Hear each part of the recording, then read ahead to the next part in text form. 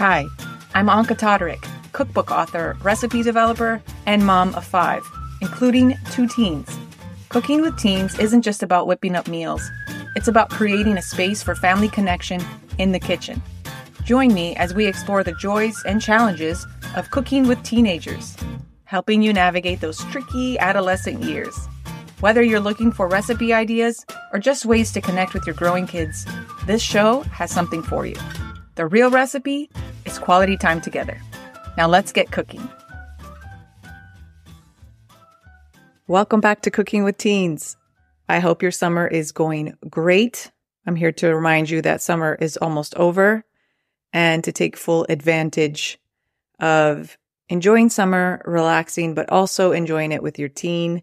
So for today's summer short series idea, I would highly encourage you to do a movie night. I'm sure you've done many movie nights because that's something we all do in the summertime. But movie night with a movie that you loved in your teens. I think it's a great way to share. I don't know. Our, our teens obviously just know us as mom and dad and at a certain age. And I think it's a great bonding experience to be able to talk about and show a piece of your personality, how you're the same, how you're different, even. A movie that maybe you don't like anymore, but you watched as a teenager that your child might like, or a movie that will forever be number one in your life that just left such an impact on you. Whether it's like super silly or something more serious, that is my tip for the week. Watch a movie that you love, get your teen involved. You can make simple, just movie snacks. You can order pizza. Obviously, we want to do something together. You could make a dessert, a smoothie bowl, bake up some brownies. It doesn't have to be a whole ordeal, but it would be really cool also if you can remember what you love to eat as a teenager when watching this movie.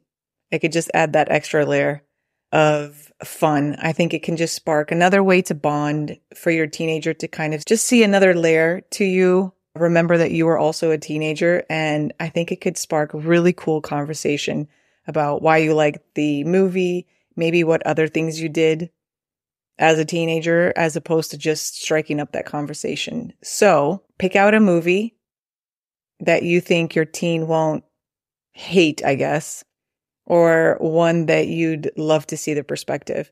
And then I would love to hear what movie you're choosing to watch with your teenager because I need to add more to my repertoire. I've watched a few mostly 80s movies with my teens. So we've done Pretty in Pink, Breakfast Club, pretty much all the Molly Ringwald movies. They're really great. And then some 90s ones even though I wasn't a teenager in the 80s. But I watched 80s movies. Anyway, I hope you have a great rest of your week. I'm very excited to hear what you're planning to cook up during your movie night and what movie you're watching. So please shoot me a DM on Instagram or tag me in a post if you're going to post it on any social media or shoot me an email at anca at thebuttertable.com because I genuinely want to know. I think It'd be cool to even do a blog post with movie ideas and then what to make with them. I just gave myself another idea. So that's it for this week. Make sure you take in the rest of the summer and goodbye for now. Thanks so much for tuning into Cooking with Teens.